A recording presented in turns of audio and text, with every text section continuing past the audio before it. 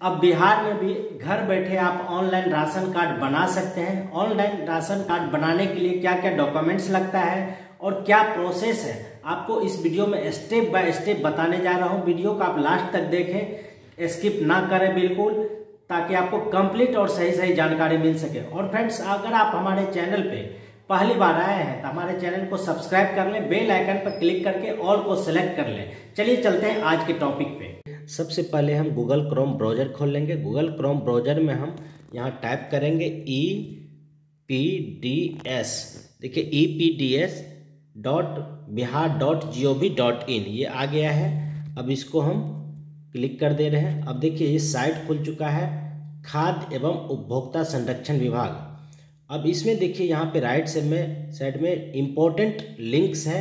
इस पर नीचे में देखिए ऑप्शन आ रहा है apply for online RC. Apply for online RC मतलब राशन कार्ड। तो यहाँ पे हम क्लिक कर देंगे। यहाँ पे क्लिक करने के बाद देखिए इस तरीके से login here, login ID password मांग रहा है जिसका आईडी बना हुआ है। हमको यहाँ पे पहले रजिस्टर्ड करना है। उससे पहले आपको बता दें यहाँ पे आप मैनुअल जो है ना, इसको डाउनलोड कर सकते हैं। यूज़र मैनुअल का देख रहे हैं, लिंक ब्लिंक कर रहा है। इस पर क्लिक करके हम आपको बता दे रहे हैं कैसे डाउनलोड होगा। डाउनलोड पे यहाँ पे हमको क्लिक कर देना है। क्लिक करने के बाद देखिए ये खोलेगा, इसको पीडीएफ खोल लेना है इस तरीके से। उसके बाद इसमें पूरा इसका यूज़र मैनुअल इसमें दिया हुआ है। कैसे रजिस्ट्रेशन करना है, कैसे फॉर्म भरना, पूरा कंप्लीट। आपको मैं वीडियो बना के भी दिखा रहा हूँ, पूरा वीडियो आप देखिए लास्ट तक।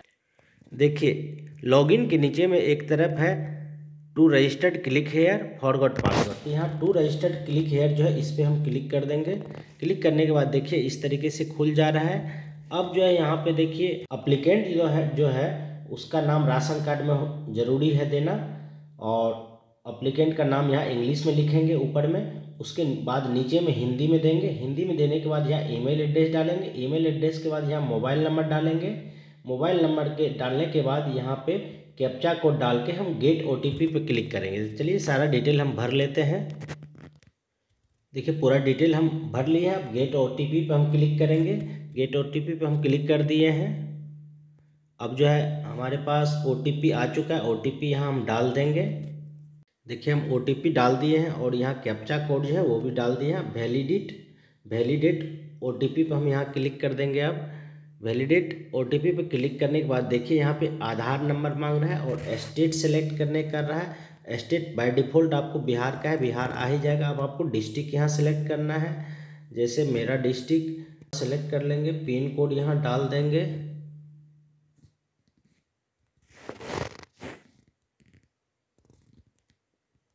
देखिए, सारा डिटेल हम भर लिए हैं। अब डिटेल भरने के बाद यहाँ पे हमको पासवर्ड जो रखना चाह रहे हैं पासवर्ड यहाँ पे देना है। पासवर्ड में पासवर्ड यहाँ देंगे मैक्सिमम आठ कैरेक्टर का होगा और कन्फर्म पासवर्ड में भी सेम पासवर्ड देंगे। उसके बाद कैप्चा कोड हम डालेंगे, फिर रजिस्टर पर क्लिक करेंगे। तो ये हम जो है ना पासवर्ड भी इसमें भर लेते देखिए यहाँ पासवर्ड और कन्फर्म पासवर्ड हम डाल दिए हैं, उसके बाद कैप्चा कोड भी भर दिए हैं। अब यहाँ पे रजिस्टर्ड पे हम क्लिक करेंगे। रजिस्टर्ड पे क्लिक करने के बाद देखिए अब जो है ना, ये आ गया हमारे पास registration success, your login ID आ गया। लॉगिन आईडी हमको मिल चुका है। अब यहाँ पे हम जो है ना, इसको ओके पे क्लिक कर देंगे। इससे पहले जो है ना रजिस्ट्रेशन आईडी को नोट करने के लिए हम अपना एक स्क्रीनशॉट ले ले रहे हैं। देखिए, या आप नोट कर लीजिएगा। अब इसको हम ओके पे क्लिक कर दे रहे हैं। ओके पे क्लिक करने के बाद देखिए देखिए यहाँ हम बैक टू लॉगिन पे क्लिक करेंगे। लॉगिन पे क्लिक करने के बाद यहाँ पे हमको लॉगिन आईडी पासवर्ड आ चुका है अपने रजिस्टर्ड मोबाइल नंबर पे। लॉगिन आईडी पासवर्ड डालेंगे और यहाँ कैप्चा कोड डाल के हम लॉगिन कर लेते हैं। देखिए लॉगिन आईडी पासवर्ड डाल दिए हैं और कैप्चा कोड भी हम डाल दिए हैं। अब इस पर लॉगिन पे हम क्लिक कर दे रहे हैं। लॉगिन पे क्लिक करने के बाद देखिए, आगे अब यहाँ, आपको आएगा क्रोम का सेव पासवर्ड करने, या नहीं भरता, हमको यहाँ सेव ही रखना मेरा गूगल क्रोम है, अपना है। तो इसमें सेव पे हम क्लिक कर दिए। अब जो है, देखिए, यहाँ पे दस बोर्ड इस तरीके से खुल के आ जा रहा है, पूरा इंट्रोडक्शन क्या क्या डॉक्यूमेंट्स आपको लगेगा, वो पहले आपको बता दे रहे है।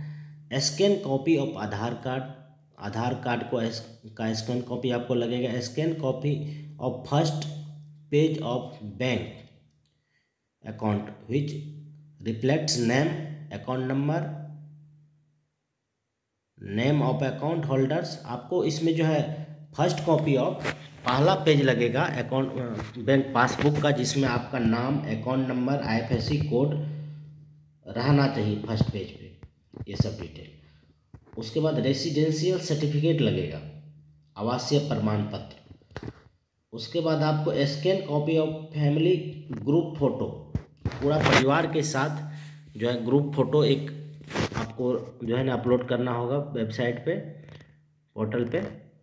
और scan copy of applicant signature applicant जो होगा उसका सिग्नेचर जो मुख्य आवेदक है, उसका सिग्नेचर का जो है ना स्कैन कॉपी लगेगा, उसको भी अपलोड करना है।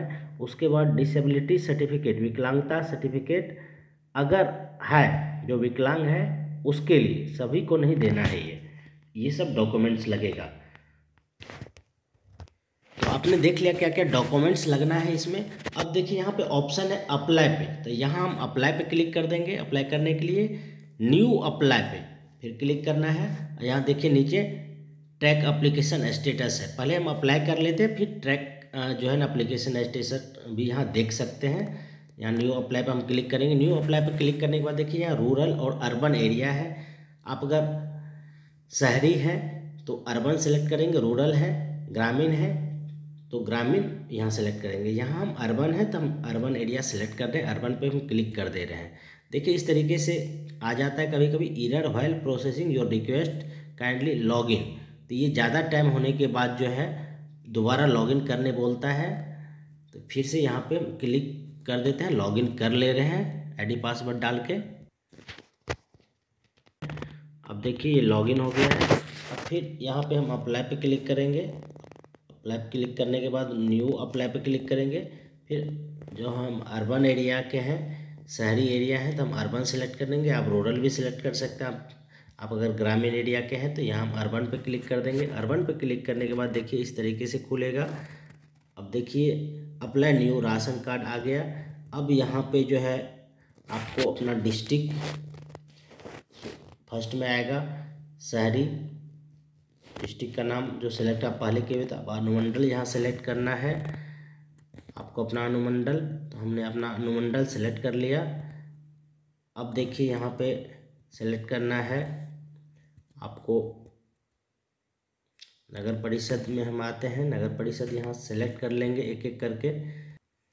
देखिए यहाँ पे डिस्ट्रिक्ट आता है। डिस्ट्रिक्ट हमको सिलेक्ट करना है, फिर शहरी एरिया रहने देना है। शहरी हम अर्बन सेलेक्ट किए हुए हैं। फिर अनुमंडल यहाँ पे सिलेक्ट करना है। यहाँ कर्सर पे क्लिक करेंगे तो यहाँ पे आपका अनुमंडल आ जाएगा। आपको जो अनुमंडल है उसको सिलेक्ट कर लेना है।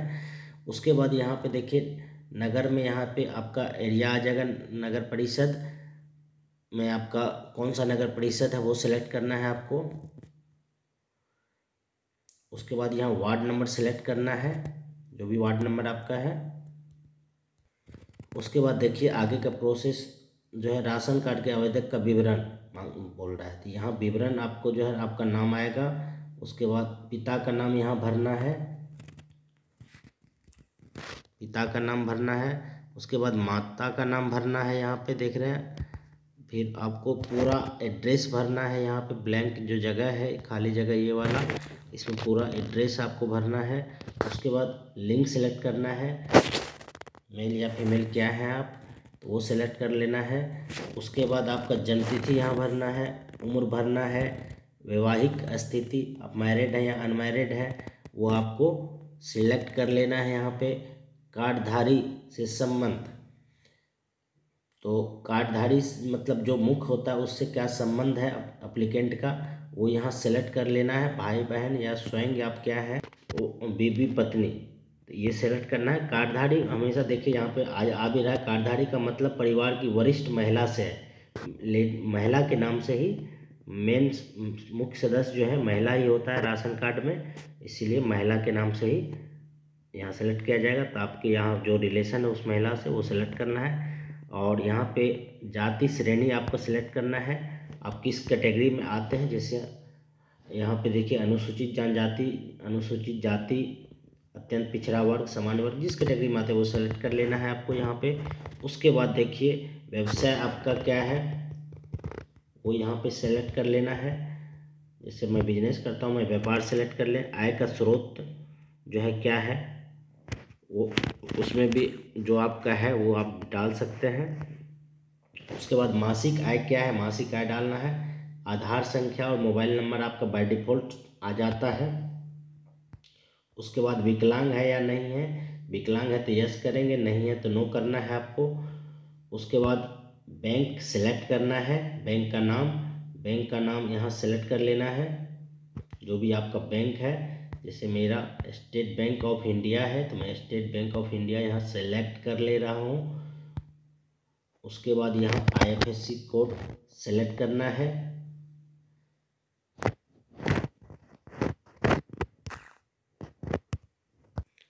देखिए, सारा डिटेल हम भर लिए हैं। भरने के बाद यहाँ सबमिट का ऑप्शन आएगा। सबमिट पे हमको क्लिक कर देना है। आप यहाँ पे देखिए, सबमिट सक्सेसफुली हो गया है। योर अप्लीकेशन आईडी इतना आ गया। Kindly note your application ID further use no you can add member आप, आपका अप्लीकेशन जो है ना सक्सेसफुली सबमिट हो गया। आप आप इसको नोट करके रख सकते हैं और आप अपने फैमिली का मेंबर फैमिली मेंबर का जो है, अब इसमें ऐड कर सकते हैं। यहाँ ओके पे क्लिक कर देंगे।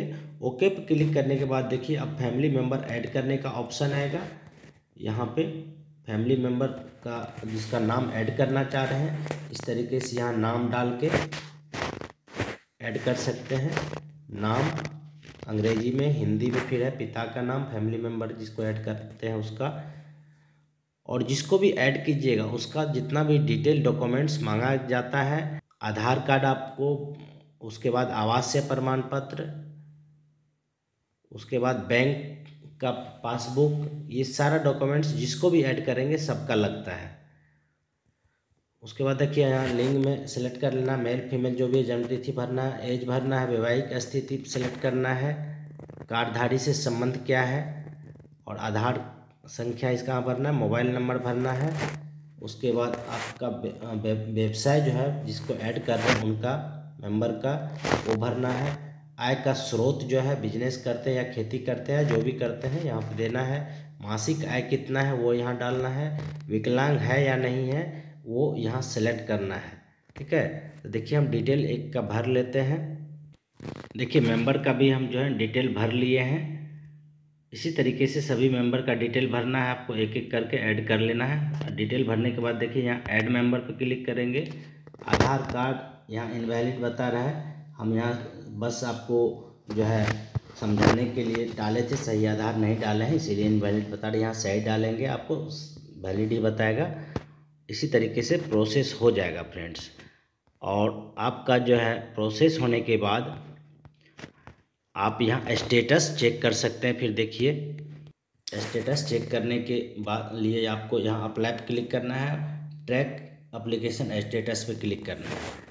अब यहाँ पे अप्लीकेशन हमने यहाँ फाइनल सबमिशन नहीं किया है, इसीलिए नहीं दिखा रहा है यहाँ पे। आपको फाइनल सबमिशन आप कर देंगे। तो उसके बाद जो है, यहाँ पे आप अपना डिटेल भरेंगे और सबमिट करेंगे, आपका दिखा देगा कि स्टेटस क्या है। बस हम आपको समझाने के लिए एक वीडियो बना रहे थे, इस हमको अप्लाई नहीं करना था तो हमने अप्लाई नहीं किया है, बस समझाने के लिए आपको वीडियो बनाया तो फ्रेंड्स मुझे लगता है कि आप समझ गए होंगे बिहार में अब ऑनलाइन राशन कार्ड बनना स्टार्ट हो गया। उसका क्या प्रोसेस है? कंप्लीट स्टेप बाय स्टेप आप समझ चुके होंगे।